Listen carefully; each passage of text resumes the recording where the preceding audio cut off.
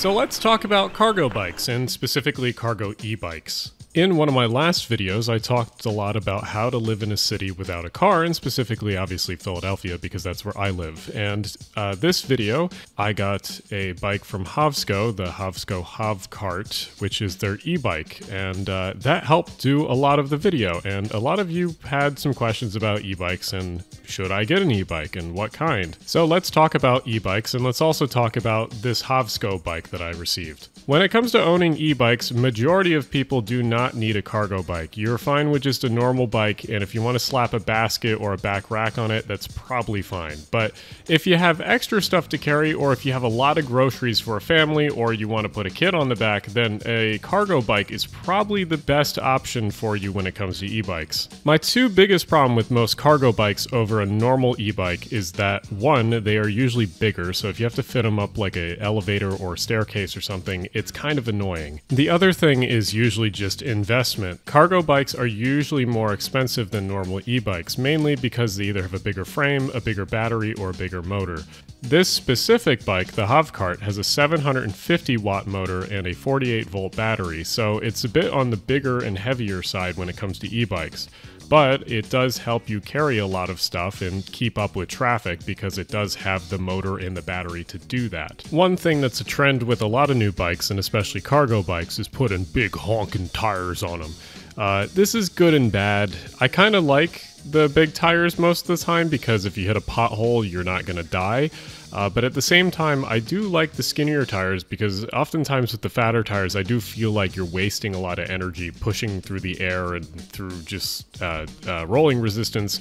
But either way, I think for the most part, bigger tires on these e bikes or things that you're going to carry heavier things on are generally good. Speaking of heavy things, I like the modular aspect of the Hovcart. You can switch out like a rear rack, the rear foot pedals, or a rear seat where a kid or someone else can sit. Like most e-bikes, you can change the amount of assist that the Hovcart has. There's also a nice little LCD display that tells you battery, your speed, range, etc. Um, and it has a little assist thing that goes from 1 to 5. When I ride the Hovcart, I usually only leave it in either setting 1 or setting 5. 1 for just kind of putting around on trails with other people on bikes to sort of stay with the group and not go too fast, and then 5 for being in the middle of traffic and not feeling like I'm holding anyone up. I love riding my regular bicycles and I like riding the unpowered bike share bikes also. But one of the things with e-bikes that really unlocks the ability to do is to sort of keep up with traffic in 20 to 25 mile an hour zones. Here in Philadelphia, that's a big deal because Philly doesn't have that many bike lanes comparatively to some other very progressive cities, but we do have very narrow streets, and majority of the streets will be 25 miles an hour at the speed limit. So if you can keep up to like 20, 25 on an e-bike, you can keep up with most traffic because it's not going to be going that fast. Uh, so plenty of times I'll just put it in the setting 5 and I will just be keeping up with traffic and I don't feel like I'm blocking anyone and I don't feel unsafe personally because one, you're keeping up and then two, the bike is big enough and it's orange so it's pretty obvious to see and I'm also pretty big so it's like if you can't see me that would be a very big surprise. Uh, but obviously I'm still careful because most drivers can be dumb. Like here in this clip, I'm riding in mode 1 because I'm riding with someone else, and I also don't want to go too fast because it's a mixed use trail for both people that are walking and biking. Uh, this is the Wissahickon Park, very beautiful area. Um, but yeah, the Hovcart's kind of perfect for both because even though it's a cargo bike and even though it's a little bit bigger, you can sort of uh, use it for both situations where um, you're both on these uh, back trails because you have the fat tires and then also the like main roads and you can keep up with traffic. And when it comes to riding long distance, Hovsco rates the distance or range of this thing at 60 miles for the battery. And I could definitely see that working if you were in like mode 1 and you rode very conservatively and didn't accelerate very hard. Um, on, I like personally accelerating very hard and to ride very aggressively.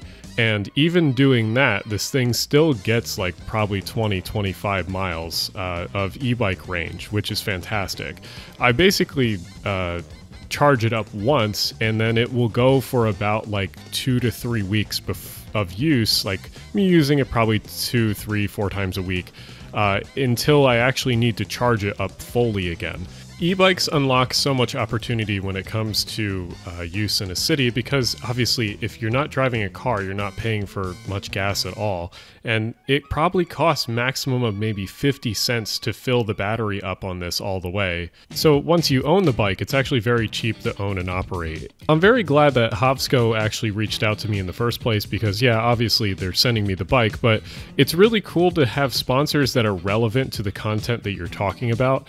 Uh, so it was very cool that an e-bike company um, could realize that like urbanism content is actually quite similar in scope to what they're trying to do.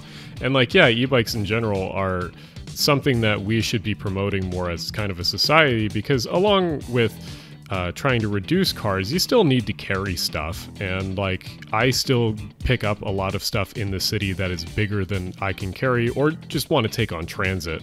Because not every time you want to be lugging a big package around on a bus or something. If a cargo bike and especially a cargo e bike sounds appealing to you, I do have all the links for this bike down below, and there should be some code down below to save you some money on the bike itself. They give me sort of a code either for a sale or for uh, my channel it links too. I have to thank Hovsco for sponsoring the video. I always enjoy bike content, and it's definitely something I need to talk about more on my main channel with e-bikes in general, and just bike lanes and stuff. You'll probably see in the future on the main channel. Um, so it was very refreshing to see this sponsor come and uh, reach out to me in the first place.